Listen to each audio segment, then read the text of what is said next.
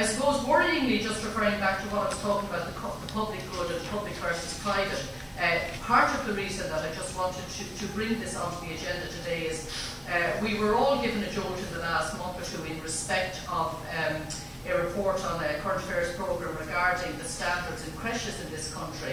Uh, and I think that uh, you know, it has, has, has been helpful in drawing attention again to standards and accountability in this area.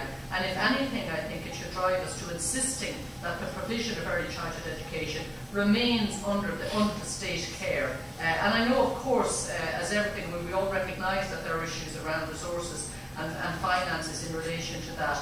But I think um, you know, some of the criticism of the staff at the time I felt were unfair because, you know, these were people put in situations which were extraordinarily poorly paid uh, for, for profit-making organisations. So it is important, I think, that when we're looking at those aspects of education, that it's not seen where parents can afford it or when we're providing it, that we do provide people in it with the proper standards and uh, the proper training and the proper qualification. So in terms of, in terms of, I suppose, the issues then that arise for that for all um, the environment in the infant classes is a matter dear to my own heart. It's something a lot of people here have spoken about before.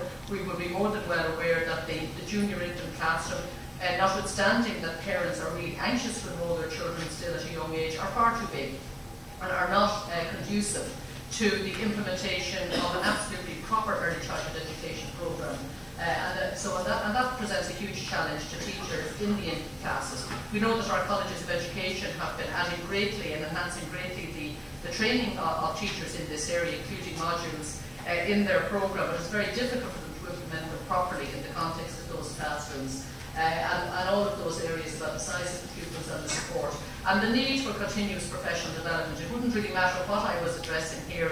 I think that is, that, that is something uh, that, that at any level is, is a critical issue in relation to that.